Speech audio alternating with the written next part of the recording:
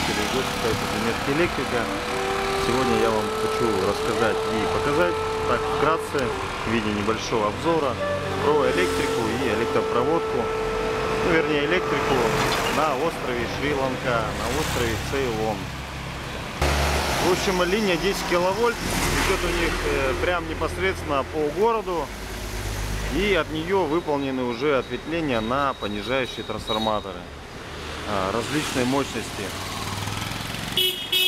А уже от понижающих трансформаторов выполнено СИП кабелем, э, СИП проводом, вернее, а, питание уже потребителей.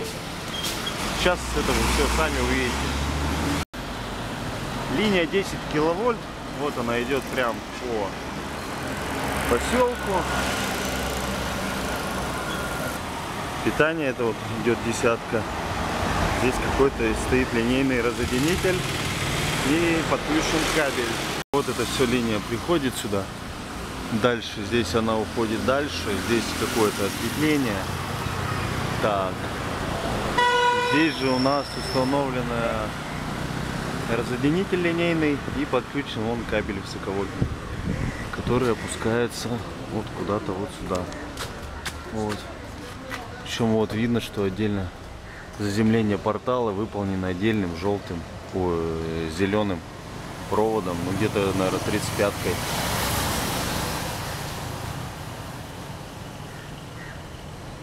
А, не совсем правильно сказал. На самом деле это не линейный разъединитель, а это предохранитель разъединителя выхлопного типа серии PRVT-10. Данные предохранители-разъединители серии PRVT наружной установки предназначены для защиты силовых трансформаторов и распределительных систем от коротких замыканий и предельных перегрузочных токов нагрузки, а также для создания видимого разрыва в цепи 10 кВт э, для включения и отключения участков цепи под напряжением с отключенной нагрузкой. Предохранитель-разъединитель выполнен в виде однополюсного аппарата, состоящего из фарфорового изолятора, на концах которого на армированных кронштейнах закреплены контактные системы, контакты. Э, в контактных системах устанавливается держатель, то есть патрон заменяемый. А, труба патрона предохранителя выполнена из армированного газогенерирующего материала – который обладает хорошими изолиру... изоляционными свойствами и дугогасящей способностью. А в патрон предохранителя разъединителя устанавливается заменяемый элемент с плавкой-вставкой. Рабочее положение аппарата это включенная патрон, он же главный нож, установлен в контактах.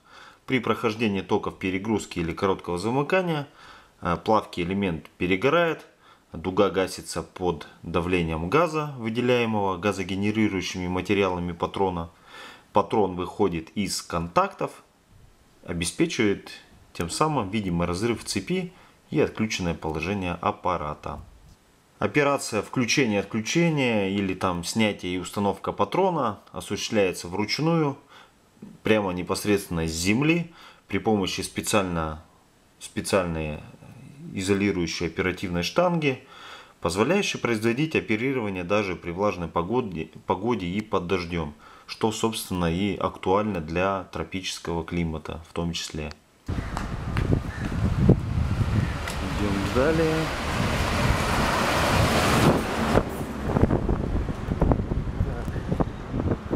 Ну вот это ответвление было для понижающего трансформатора, вон он находится. Так, ну вот, вот эта вот линия приходит с той стороны, приходит на понижающий трансформатор. Здесь установленный линейный разъединитель. Вот такой вот небольшой трансформатор на опоре. И с него идет три фазы. Так, маркировку вот не вижу, но какой-то вижу красный, зеленый, желтый, наверное, ЖЗК наш. Может быть я ошибаюсь, может быть зеленый у них используется а, вот даже бело-зеленый проводник, по-моему, это у них э, как ПЕ проводник у нас заземления, проводник заземления. Так, здесь что у нас стоит? Какие-то мощные э, сжимы вводные, наверное, на уже вот эту вот линию, которая уходит дальше по улице туда. Здесь Ну, здесь в обратную сторону получается. Вот мы идем с этой стороны. Так, вот еще один понижающий трансформатор. Такие же, вот видите, вводные э, сжимы на эту сторону и на эту, ниже. Здесь, видимо, для отеля установлен еще один трансформатор. Этот трансформатор питает, вон у него стоит один в одной сжим, вон она идет линия фиг и уходит вот в ту сторону. А от этого трансформатора одна линия уходит магистралью в ту сторону и часть, частично вон туда. Вот это все идет. Магистральная СИП. Вот она толстая, видно ее магистральная линия, от которой все вот ведутся такие вот ответвления потребителям зданий вот, этих всех близ, близлежащих зданий, отелей, магазинчиков и так далее. Ну и у каждого потребителя стоят вот аналогичные такие вводные щиты, где установлен вводной автомат. Так, в данном случае характеристика D на 32 ампера. Ну и счетчики также установлены. Здесь то же самое, вот, например. Так, для примера покажу. То есть, да, вон D32. Вот, 0 синий все-таки выполнен, фаза черным. Счетчик электрической энергии. Блэка. А, схема подключения, смотрите какая. То есть фаза приходит на первую клемму. А со второй клеммы на вторую клемму подключается 0. То есть вводные. Первая и вторая клемма это в одной, э, вводная фаза и в одной 0. Далее третья клемма между второй и третьей клеммой перемычка и 0 уходит на нагрузку.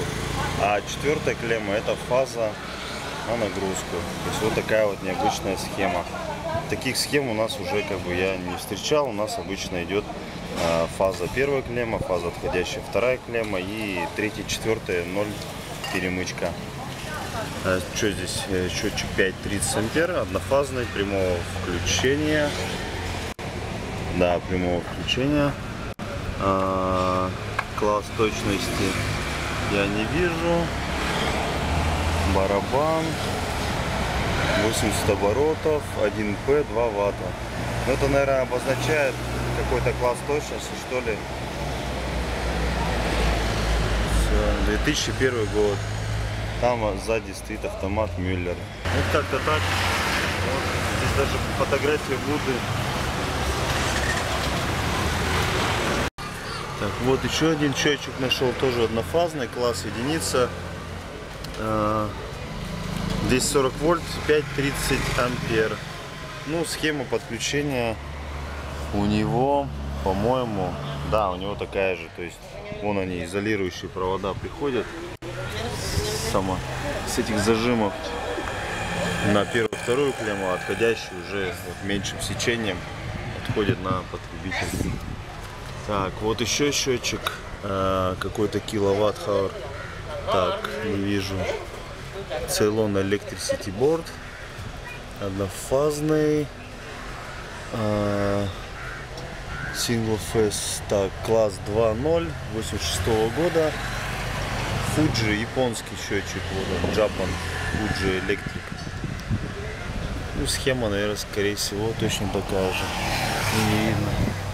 Вот распределение с общей магистрали. То есть по линии идет магистраль а уже от нее, он видите, какая куча зажимов идет отходящие линии на различные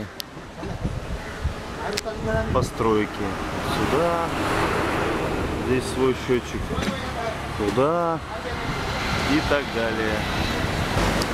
Кому интересно, это коробка связи.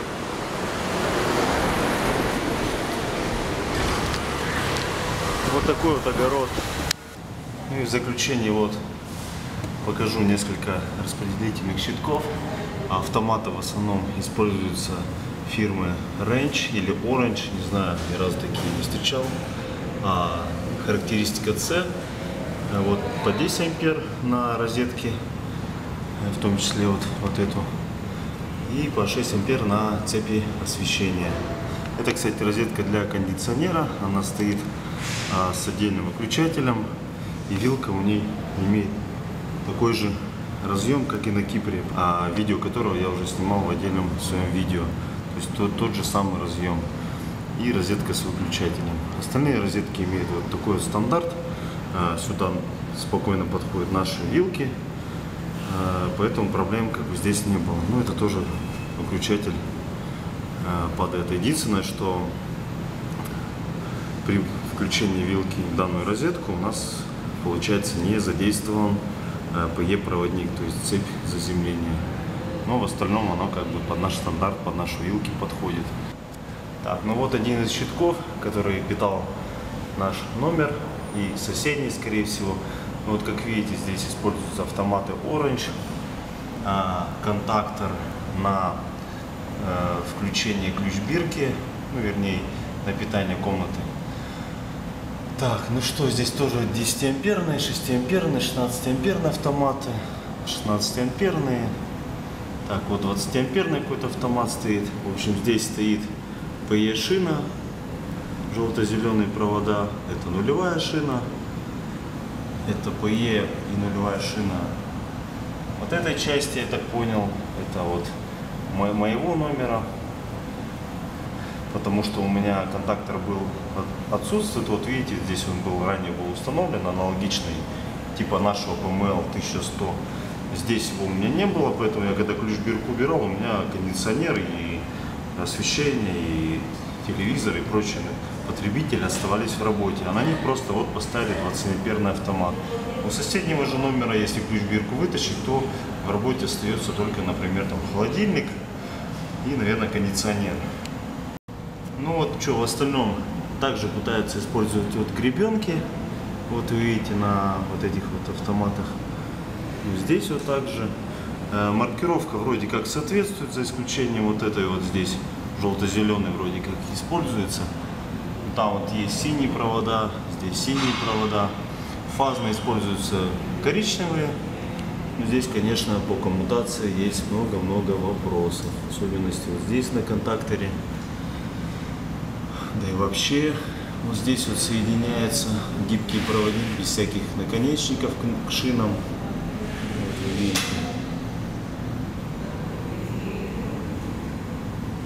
По сечению проводов и номиналам защищаемой линии, в принципе, я здесь нареканий не вижу. Провод 2,5 защищен автоматами 16 ампер.